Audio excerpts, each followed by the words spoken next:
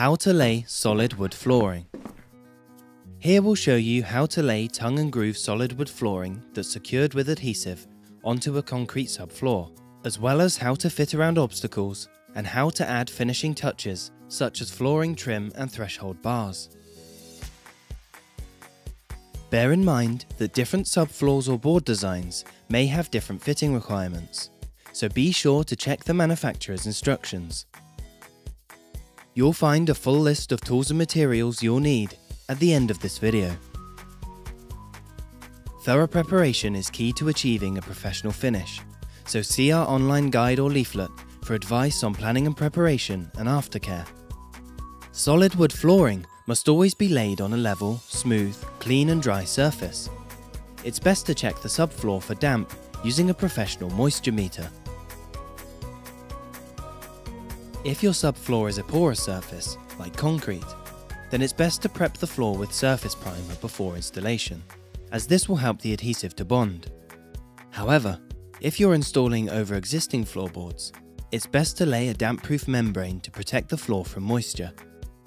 Solid wood can be fixed to existing boards with secret nails or glue if the surface is properly levelled. Before you start laying your solid wood flooring, Lay the unopened packs in the room where they're to be laid for between 5 and 7 days. This will allow them to acclimatise. As solid wood boards can be laid either horizontally or vertically, it's best to dry lay them to see which layout best suits your room. However, bear in mind that solid wood flooring should be laid at a 90 degree angle to any existing boards. Plan your layout to ensure that the final row of boards will be at least 60mm wide. Adjust the width of your first row if need be. Remember to factor in an expansion gap of between 10 to 12 millimeters at each end of the room when working this out. If you'll be fitting the solid wood around a door frame, start by removing the door, then line up an off-cutter floorboard with the architrave and trim with a panel saw. Use a hammer and chisel to remove enough of the bottom of the architrave that the solid wood will fit underneath it. Be sure to leave a 10 to 12 mm expansion gap.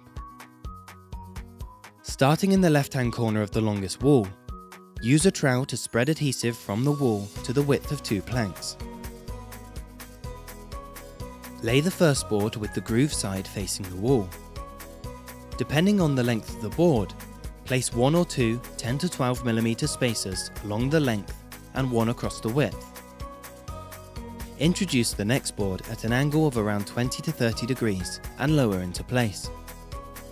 Take great care with the alignment, as it's key that your first row is perfectly straight. Add spacers to maintain an expansion gap between the board and the wall. Continue laying until you can't lay any more full boards, ensuring the line of boards is perfectly straight. To fill the gap at the end of a row, Measure the distance between the last full board and the wall spacer. Flip a board end over end so it's upside down, with the groove edge still facing you, but the other end now facing the wall spacer. Use a pencil and tri-square to mark a guideline on the underside of the board. Clamp the board into a workbench and cut with a jigsaw or panel saw. Then place the cut board into position to complete the first row. If the offcut is at least 300mm long, use it to start the second row from the same end as you started the first. Otherwise, start the row with a new board sawn in half. You must ensure that the joints between the boards in adjoining rows are always offset by at least 300mm. Put a spacer into position at the start of the second row, then offer the new board at an angle so the tongue section of the second board fits into the groove of the first board. Then, lower it into position and continue to lay the second row. When laying, be sure to check for a close fit between all boards and to tap or pull them into position using a jemmy bar or tapping block when necessary. Don't use a mallet or hammer directly onto the board as this can cause damage. Once the first two rows are secure and perfectly straight, Spread 700 to 900 millimeters of adhesive across the length of the room. Be mindful not to spread more than you can comfortably cover in 30 minutes. Use tension straps after every 5 or 6 rows to further secure the boards. If you need to cut boards to fit the gap in the final row, measure the gap you need to fill and remember to allow for expansion. Then cut the board to size and lay as normal. Once the floor is laid, leave the adhesive for about 2 hours before walking on it. However, drying times do vary, so be sure to check the manufacturer's instructions. If you need to fill a gap between the board and the door, measure the distance between the outer edge of the architrave on either side. Then measure the gap between the first row and the door. Mark these measurements onto a board, remembering to factor in a 10 to 12 mm expansion gap at each end. Use a jigsaw or hacksaw to cut a board into two pieces so they reach the required length. This will make it possible to slide the sections into position one by one.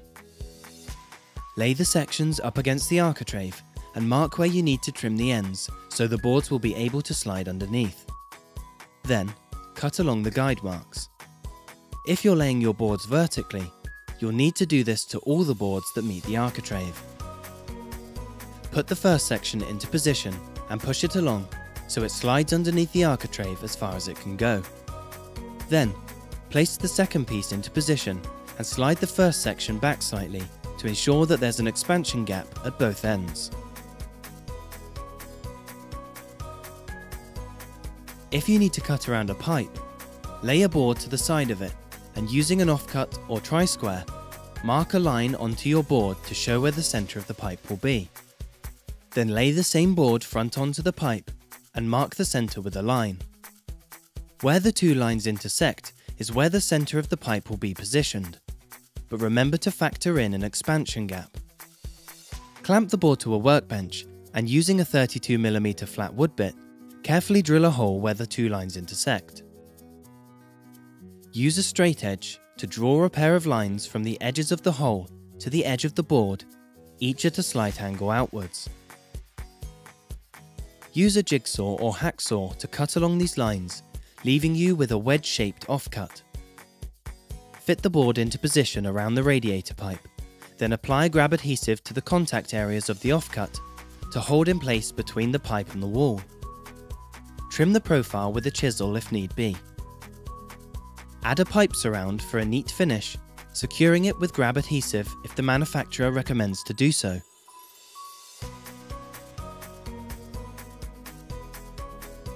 If your original skirting covers your expansion gaps, then refit it now.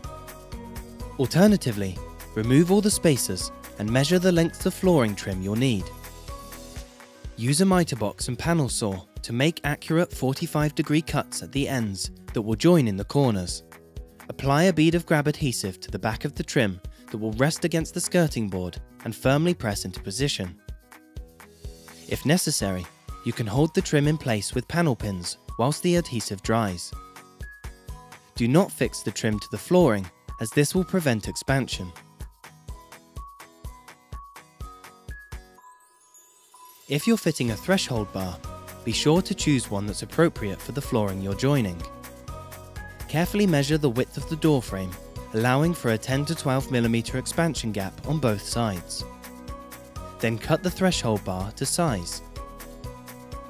Some designs will require cutting to shape, so that the threshold bar will sit flush to the door frame. If need be, carefully mark out notches and then cut with a hacksaw. Secure the threshold bar with either grab adhesive or screws, depending on the manufacturer's instructions. Finally, before you refit the door, it's likely you'll need to slightly trim the bottom to accommodate the height of the threshold, board and any underlay.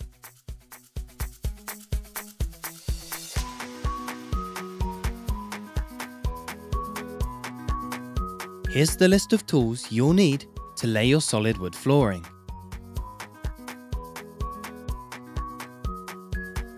And here are the materials you'll use. And this is the recommended safety equipment needed.